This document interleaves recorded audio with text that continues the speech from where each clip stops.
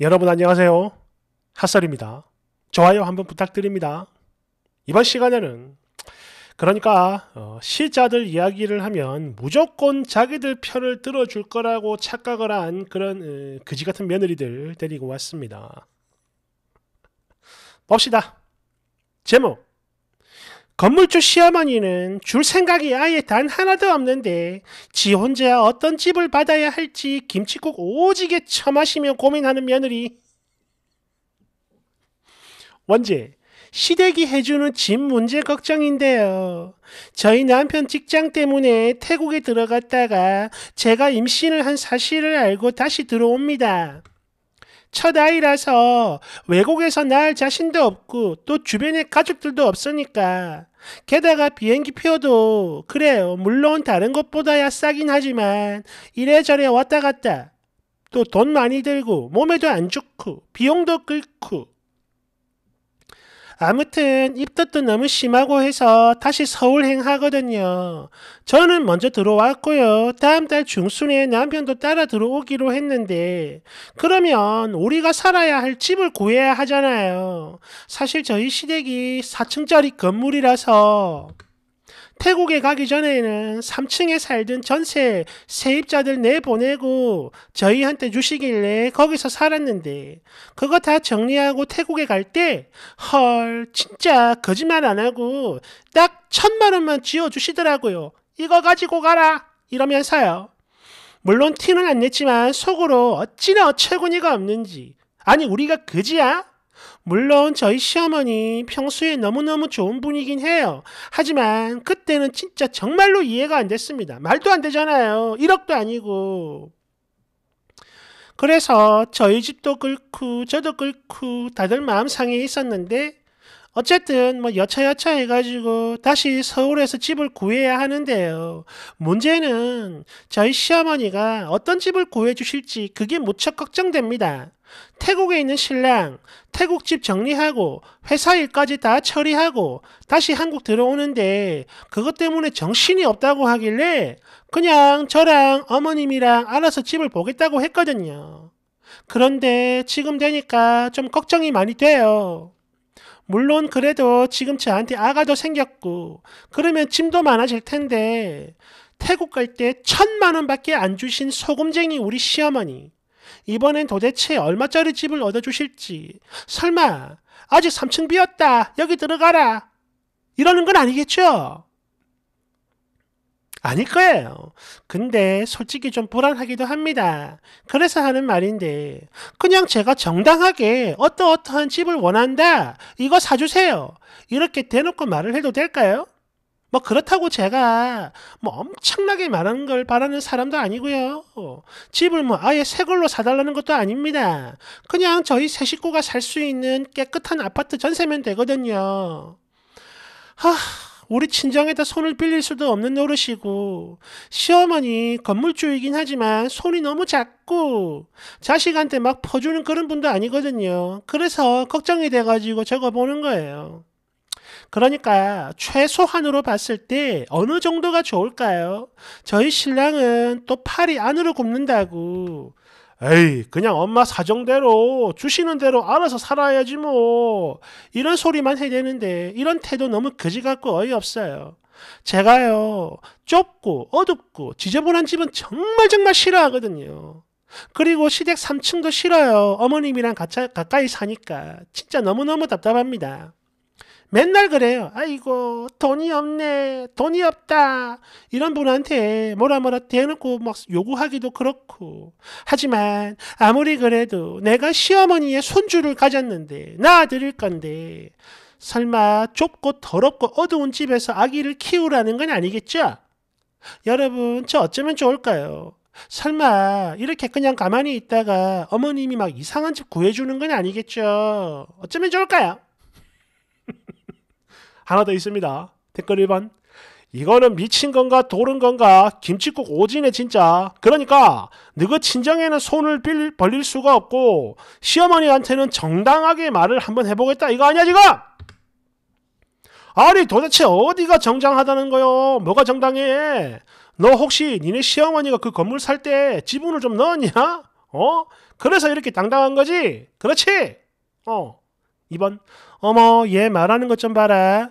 누가 보면 돈 맡겨 놓은 줄 알겠다, 얘. 3번. 야, 이 그지 같은. 야, 니들은 돈이 하나도 없냐? 니네 친정에 돈이 없냐고. 아니, 성인 두 사람이 결혼해가지고 사는데 부모가 반드시 돈을 쥐어줘야만 집을 얻을 수 있다 이거야, 지금? 헐. 4번. 아이고, 저 시어머니 누군지는 몰라도 진짜 불쌍하네.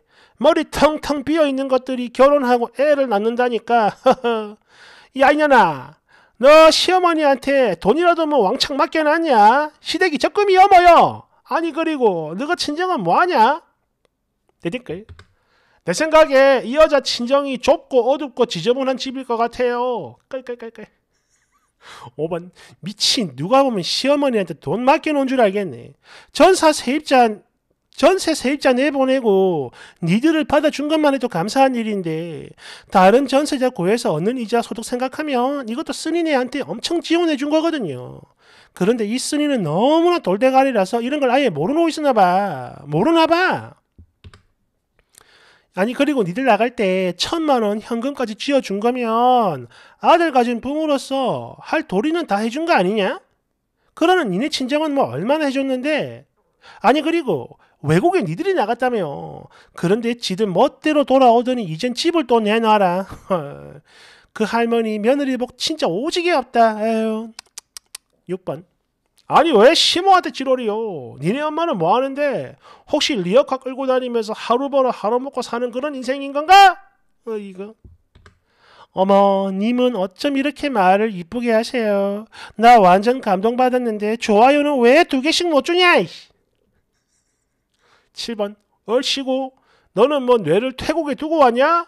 그래서 막 헷가닥 돌아버린 거요 뭐요? 부모가 도와줄 형편이 안 되면 누구 부부들끼리 합심해가지고 뭐 대출을 받든 아니면 싸구려 월세에 들어가 살든 그렇게 시작을 해야지. 이게 뭔 소리야 이게? 어? 집? 8번. 아니 대한민국 몇몇 거지 같은 며느리들 보면 자기 시부모는 오지게 싫고 불편해하면서 또 그런 당신들 주머니에서 나오는 건 너무나 당연하게 생각을 하더라고. 또 이렇게 돈이 안 나오면 서운해하다는 거. 너무 거지 같아. 내릴까요? 내 몸 갈아가지고 손주 내주는 건데 그게 뭐 어때서? 갈긴 뭘 갈아? 이씨. 뇌를 몇 돌에 갈았냐? 미친. 두 번째 사연입니다. 원제. 며느리만 빼고 자기들끼리 해외여행. 저는 27개월 된 남아를 둔 임산부입니다. 결혼 3년 차. 다름이 아니라 내년 초가 저희 시어머니 칠순 생신이라 그걸 기념으로 온 가족이 일본 여행을 가기로 했다고 신우 언니한테 지난 여름에 그 이야기를 처음 들었어요. 두 달 전에. 경비는 신우 언니의 남편이 쏜다고 하더라고요. 저는 그래서 아싸 결혼하고 신혼여행 다음으로 처음 가는 해외여행이네? 이래가지고 너무 설레고 좋았는데 이게 또 그래요. 둘째가 있으면 앞으로 더 못 갈 것, 그게 뻔하잖아요. 애들 케어하기 힘드니까. 그래서 너무너무 좋아하고 있었는데, 이게요, 지난 여름에 나온 얘기인데, 아직까지 언제 어떻게 가는지 아무도 말이 없는 거예요. 그래서 너무 답답한 마음에 남편을 시켜가지고 신우이한테 물어봤더니, 봄에 가지 싶다. 이런 이야기를 하는 거예요. 아니, 이거 진짜 너무한 거 아닌가요? 내년 3월이면 제가 출산 예정인데 그러면 못 가는 거 뻔히 알면서 어떻게 이런 얘기를 하냐고. 지금 가자고 한번 졸라봐라 했더니 신우이가 뭐라고 했냐면 아이고 옳게 임신해가지고 거기 가겠냐? 이런 소리를 했다는데 이거 생각할수록 너무 속상하고 기분도 거지 같고 그래요. 이거 혹시 제가 이상한 건가요? 지 말 맞다나 제가 임신한 거 알고 있으면 그걸 좀 앞당겨가지고 지금 가도 되는 거 아니냐고요. 저는요, 12월 전에만 가면 얼마든지 임신을 했다 해도 갈 수 있거든요. 아니, 임신한 며느리는 당연히 이런 데 안 가는 건가요? 이럴 때만 며느리만 남인 거냐고. 여러분들 의견을 듣고 싶어가지고 너무 속상한 마음에 글을 려봅니다. 아, 참고로 저희 남편도 못 가는 거니까 남편 욕은 하지 마세요. 며느리만 빼고 가려고 하는 게 시댁의 목적이라서 제가 제목도 며느리만 빼고 여행 이렇게 쓴 거니까요. 남편이야 속으로 가고 싶겠죠. 근데 내가 못 가니까 할 수 없이 어거지로 안 가는 척 하는 것 같아요. 댓글 1번. 아니 이건 또 뭐야? 이건 가족 여행이 아니라 그냥 딸이랑 사위가 엄마 장모님 모시고 가는 여행 아닌가? 어? 생신 기념으로? 내 댓글. 그렇죠. 이게 정답이죠. 상대방 입장을 진짜 단 한 번이라도 생각을 하고 이해를 했다면 아니 그랬다면 이해를 바로 할 수 있는 거야. 2번. 그러니까 공짜 여행할 생각으로 가족 여행이라고 우기는 거네. 그지? 깔깔깔깔. 2번. 아니 지금 공짜 여행 못 가가지고 그것 때문에 열받아가지고 이 난리냐 지금? 헐. 당신 아들도 못 가는데 무슨 며느리까지 특히나 어린 아이도 있고 너 또 임신 중이라며 그럼 그 아이는 도대체 누가 돌봐주냐? 무엇보다 시어머니 칠순 기념일이면 어머님 당신이 주인공이지 너 따위는 주인공이 아니에요. 눈치 좀 챙겨요 이 아줌마야. 3번 야이 미친 야 너그 시어머니 칠순에 맞춰서 가는 건데 그걸 왜 며느리 너한테 맞추니 어쩌니 이런 소리를 해대냐? 어처구니가 없네. 어. 4번 아니 신우이가 또 사위가 자기 엄마 생신이라 자기 가족들이랑 엄마를 모시고 가겠다는데 왜 남인 며느리인 네가 왈가왈부세요? 이게 그렇게 그지 같고 억울해? 그래서 미쳐버리겠어? 그럼 너도 나중에 네 남편이랑 둘이 시어머니 모시고 가. 12월 되기 전에. 5번. 아니 다 떠나서 시어머니 칠순이 내년 초라며. 근데 왜 그걸 올해 말에 가야 해? 미친 거야? 정신 나갔어? 왜 이래? 6번. 어, 이 쓴이 빈대근성 거지근성 초레전드구만. 깔깔깔깔. 7번. 뭘 어떻게 해도 욕할 수 있는 시짝. 같이 가자고 하면 힘든 임산부 끌고 간다고 지랄. 또지 빼놓고 가면 나도 갈 수 있는데 따 시켰어 이러면서 지랄. 아니 도대체 뭐 어쩌라는 거야. 이 그지 같은 며느리들아. 8번. 아니 이건 또 뭐야? 이 독특하게 미친 사람은 뭐냐고. 야, 네가 거기를 왜 가? 너는 낄끼 빠빠라는 말도 모르냐? 어? 어 이거. 9번. 그럼 쓰니네가 12월 되기 전에 시어머니 모시고 다녀오면 되는 거 아니야?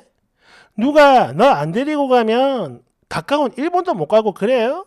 그지 같네? 10번. 이거는 시어머니 칠순 여행이지 네 태교 여행이 아닙니다. 그리고 네 남편도 안 간다면서요. 어린 애 데리고 거기다 홀몸도 아닌데 도대체 뭔 구경을 하겠다는 거야. 솔직히 나도 그래. 시자라면 엄청나게 싫어하는 며느리 입장이지만 이런 거지 같은 것들은 꼭 이럴 때만 가족이지. 하나만 하세요. 하나만. 뭐가 됐든.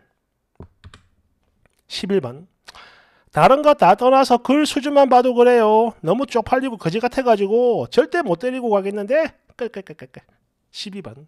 당연히 시자 욕할 줄 알았는데 반응이 이따위니까 조만간 펑 하고 글이 사라지겠네. 내 말이 맞지, 이년아. 예, 이걸 보니까 어, 저는 그렇습니다.